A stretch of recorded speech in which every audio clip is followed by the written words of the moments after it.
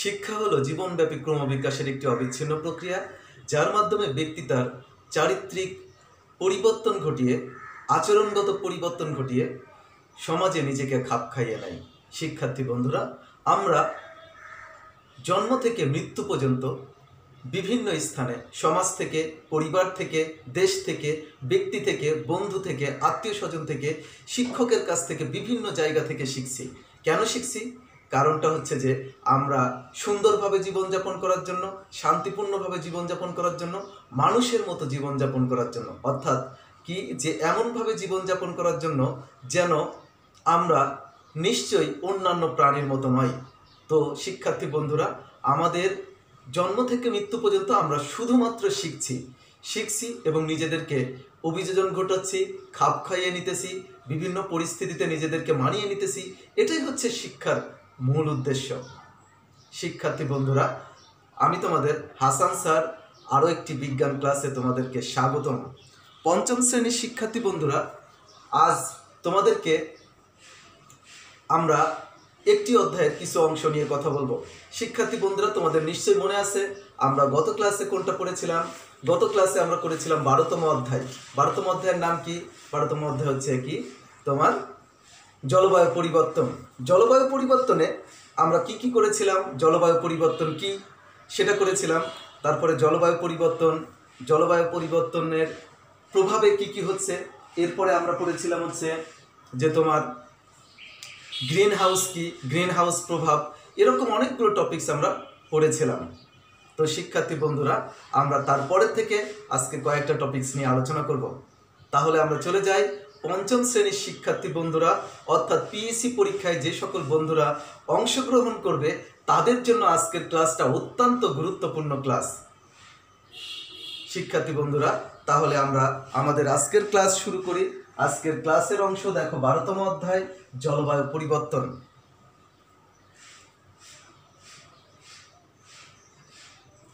আমরা গত ক্লাসে যেটা করেছিলাম, তার পরবর্তী অংশ দেখো। মানুষের কর্মকাণ্ডের ফলে বৈশ্বিক উষ্ণায়ন ঘটছে। ব্যাখ্যা করো। আমরা গত ক্লাসে কিন্তু করেছিলাম যে, গত ক্লাসে করেছিলাম মানুষ মানে বৈশ্বিক উষ্ণায়ন কি এবং বৈশ্বিক উষ্ণায়ন কেন হচ্ছে? আমরা আজকে দেখব। আসলে দুইটা কারণে দেখা যায় কি যে, হচ্ছে মানুষের কর্মকাণ্ড মানুষের কর্মকাণ্ডের কারণেই প্রধানত বৈশ্বিক উষ্ণায়ন ঘটছে। আমরা সেই বিষয়গুলো দেখব, মানুষ কি কি করার ফলে বৈশ্বিক উষ্ণায়নগুলো ঘটছে। তোমরা নিশ্চয়ই জানো, বৈশ্বিক উষ্ণায়ন মানে কি? বৈশ্বিক উষ্ণায়ন হচ্ছে তাপমাত্রা বৃদ্ধি, অর্থাৎ পৃথিবীর তাপমাত্রা বেড়ে যাওয়া। এই যে ক্রমান্বয়ে আস্তে আস্তে পৃথিবীর তাপমাত্রা বা- পৃথিবীর গড় তাপমাত্রা বেড়ে যাচ্ছে, এটাই হচ্ছে বৈশ্বিক উষ্ণায়ন, তাই না? তো এই বৈশ্বিক উষ্ণায়নের প্রধান কারণ কিন্তু মানুষের বিভিন্ন কর্মকাণ্ড। আমরা দেখি মানুষের কি কি কর্মকাণ্ড এর সাথে জড়িত রয়েছে। প্রথমে দেখো, মানুষ তার বিভিন্ন কর্মকাণ্ডের মাধ্যমে বৈশ্বিক উষ্ণায়ন ঘটাচ্ছে। মানুষ তার বিভিন্ন কর্মকাণ্ডের মাধ্যমে বৈশ্বিক উষ্ণায়ন ঘটাচ্ছে। বিদ্যুৎ উৎপাদন কেন্দ্র, কলকারখানা, যানবাহনে কয়লা, তেল, প্রাকৃতিক গ্যাস ইত্যাদি জীবাশ্ম জ্বালানি পোড়ানো হচ্ছে। বিদ্যুৎ উৎপাদন কেন্দ্রে, তারপরে কলকারখানা যানবাহনের কয়লা, তেল, প্রাকৃতিক গ্যাস ইত্যাদি জীবাশ্ম জ্বালানি পোড়ানো হচ্ছে। এই জীবাশ্ম জ্বালানি পোড়ানোর ফলে বায়ুমণ্ডলে অনেক পরিমাণ কার্বন ডাইঅক্সাইড গ্যাস নির্গত হচ্ছে। অর্থাৎ এই সকল জীবাশ্ম জ্বালানি পোড়ানোর ফলে বায়ুমণ্ডলে কার্বন ডাইঅক্সাইড গ্যাস নির্গত হচ্ছে। সেই কার্বন ডাইঅক্সাইড গ্যাস দেখো, পাশাপাশি এই যে কার্বন ডাইঅক্সাইড গ্যাস তো আমরা জানি যে কার্বন ডাইঅক্সাইড গ্যাস হচ্ছে একটা green house gas green house গ্যাসের এই কার্বন ডাইঅক্সাইড গ্যাসের পাশাপাশি আমরা আরও একটা কি কি করতেছি? আরও করতেছি সেটা হচ্ছে বনভূমিকে ধ্বংস করে ফেলছি। একদিকে কার্বন ডাইঅক্সাইড নিঃসরণ ঘটাচ্ছি। আর একদিকে কার্বন ডাইঅক্সাইড গ্রহণ করবে যেই জীব, তাকেও ধ্বংস করে ফেলছি। ফলে ক্রমান্বয়ে কি হচ্ছে? তাপমাত্রা বেড়ে যাচ্ছে। ফলে দেখো, পাশাপাশি বনভূমি ধ্বংসের ফলে গাছপালার মাধ্যমে কার্বন ডাইঅক্সাইড শোষণের হার কমে যাচ্ছে। ফলে বাতাসে কার্বন ডাইঅক্সাইড কার্বন ডাইঅক্সাইডের পরিমাণ বেড়ে যাচ্ছে। বেশি পরিমাণ কার্বন ডাইঅক্সাইড, বেশি পরিমাণ তাপ ধরে রাখছে। বেশি পরিমাণ কার্বন ডাইঅক্সাইড, বেশি পরিমাণ তাপ ধরে রাখছে। ফলে দিন দিন পৃথিবীর তাপমাত্রা বেড়ে যাচ্ছে। পৃথিবীর গড় তাপমাত্রা বেড়ে যাওয়াই হলো বৈশ্বিক উষ্ণায়ন। তাহলে আমরা বুঝতে পারলাম মানুষের কর্মকাণ্ডের ফলেই বৈশ্বিক উষ্ণায়নটা ঘটছে।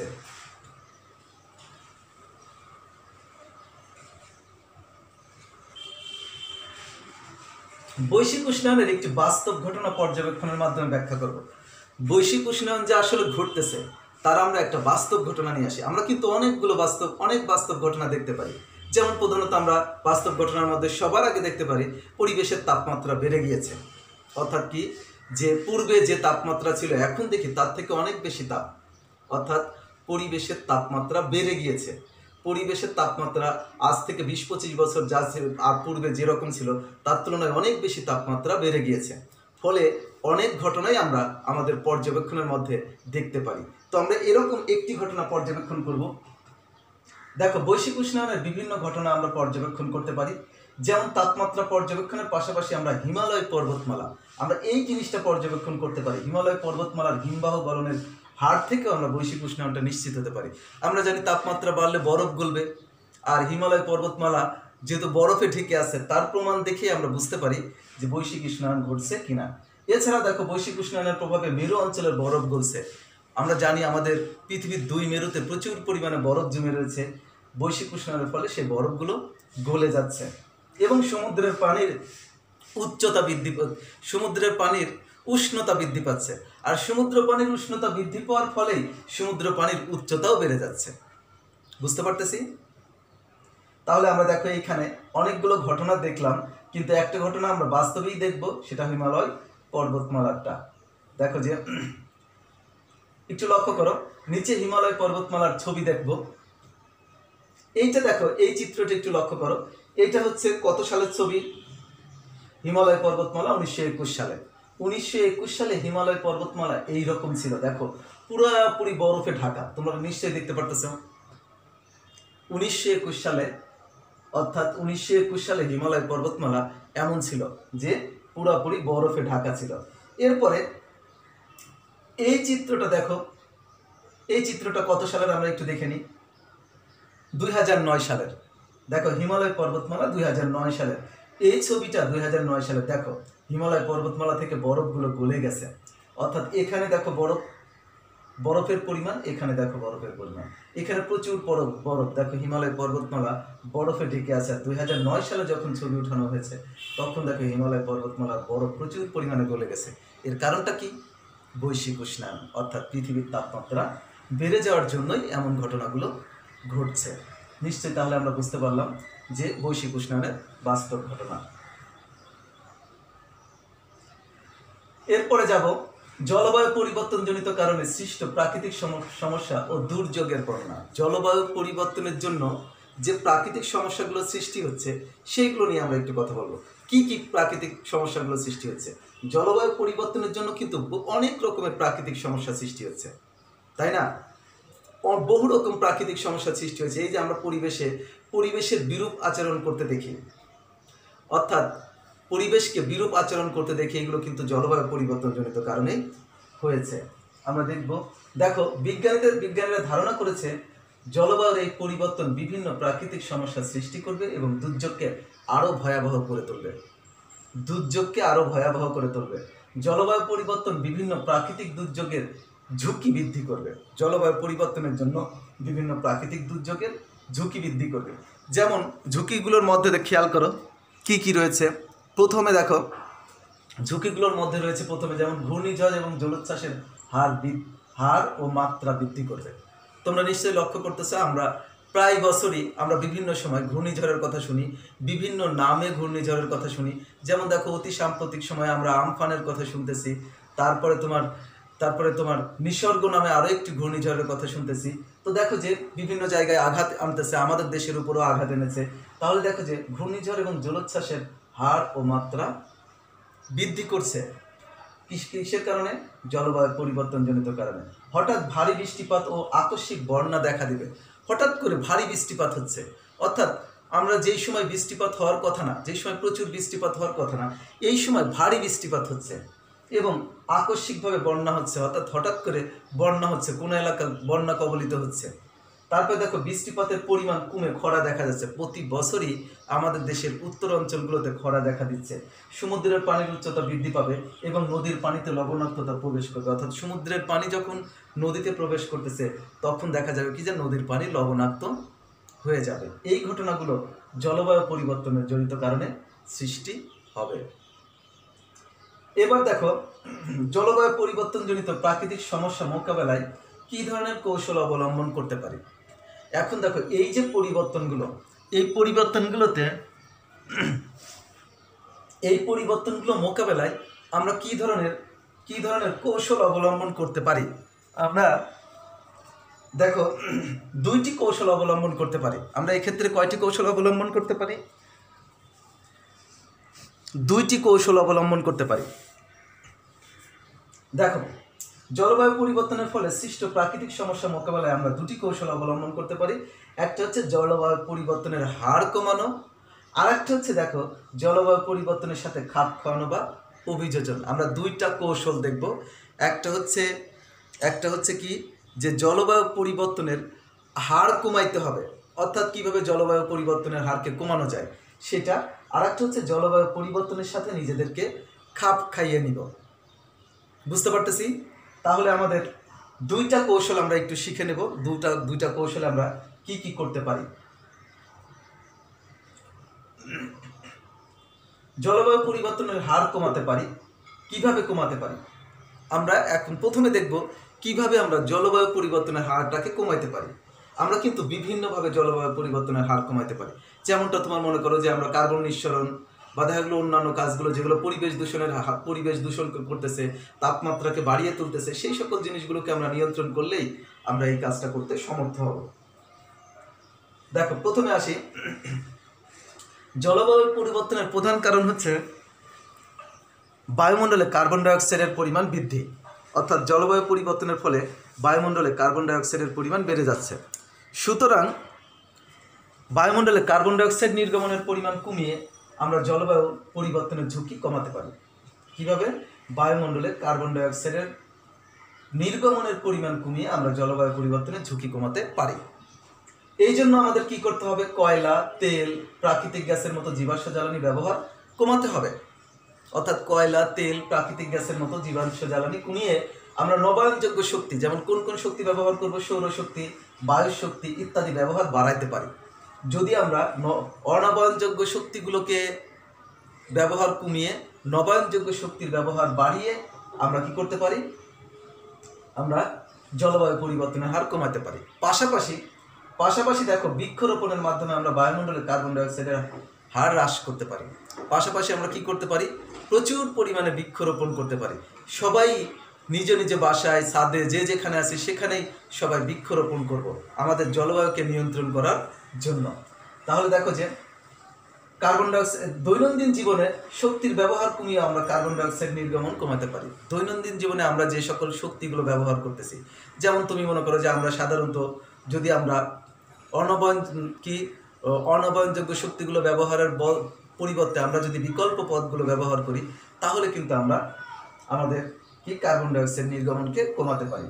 এই সকল কর্মকাণ্ড দীর্ঘমেয়াদী জলবায়ু পরিবর্তনের হার হ্রাস করতে সমর্থ হবে। অর্থাৎ এইখানে যেই স্টেপগুলো দেওয়া হয়েছে, তার মধ্যে আমরা প্রথমে দেখতেছি যে নাম্বার ওয়ান হচ্ছে জীবাশ্ম জ্বালানির ব্যবহার কমাবো।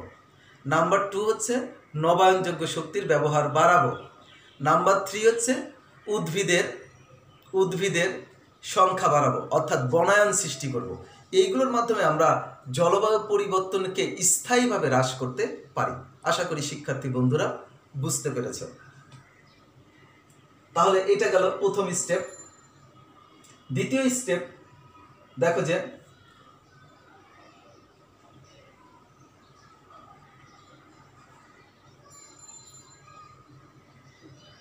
দ্বিতীয় স্টেপ দেখো, জলবায়ু পরিবর্তনের সাথে অভিযোজন ঘটানোর জন্য আমরা কি ধরনের ব্যবস্থা গ্রহণ করতে পারি? অর্থাৎ কি ধরনের ব্যবস্থা গ্রহণের মাধ্যমে আমরা জলবায়ু পরিবর্তনের সাথে, জলবায়ু পরিবর্তনের সাথে নিজেদেরকে অভিযোজন ঘটাতে পারি? বা খাপ খাওয়াতে পারি। সেই টেকনিকগুলো আমরা শিখে নেব। আমাদের এই টেকনিকগুলো শিখতে হবে। কারণটা হচ্ছে, সারা পৃথিবী মানুষ সবাই যদি সচেতন না হয়, তাহলে কিন্তু আমরা জলবায়ুর পরিবর্তনকে নিয়ন্ত্রণ করতে পারব না। সবচেয়ে বেশি উন্নত দেশগুলো উন্নত দেশগুলো যদি সচেতন না হয়, তাহলে আমাদের জলবায়ু পরিবর্তন নিয়ন্ত্রণ করা খুবই কঠিন।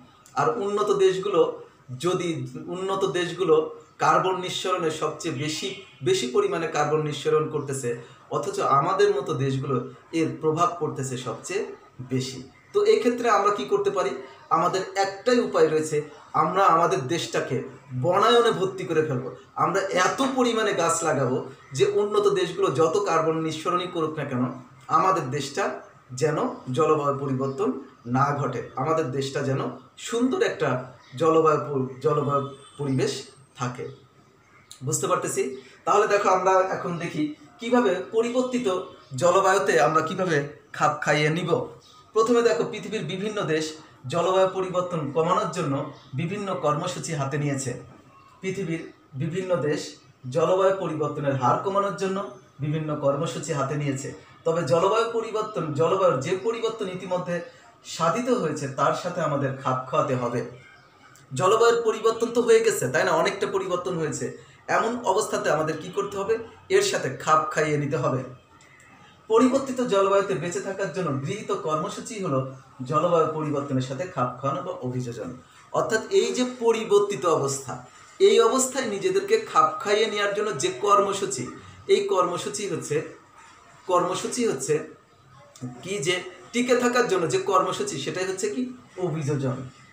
দাও দেখো তাহলে, অভিযোজনের উদ্দেশ্য হলো জলবায়ু পরিবর্তনের ফলে, অভিযোজনের উদ্দেশ্য হলো জলবায়ু পরিবর্তনের ফলে সৃষ্ট ঝুঁকি কমানো ও পরিবর্তিত পরিস্থিতিতে টিকে থাকার জন্য যথাযথ ব্যবস্থা গ্রহণ।